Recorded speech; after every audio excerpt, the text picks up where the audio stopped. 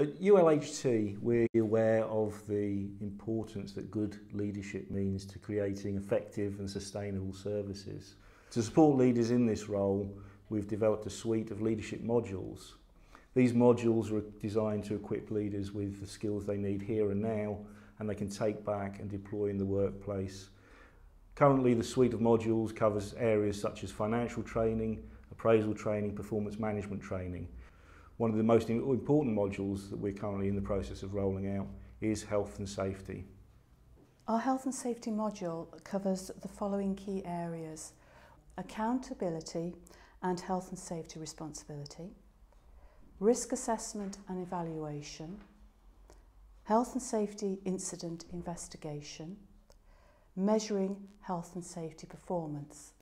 The final module will be a self-reflective exercise looking at the tasks and activities performed during the series. So if you'd like to know a little bit more about what support there is available to you as a leader in ULHT or want to know how you can uh, tap into some of those development modules, then contact organisational development.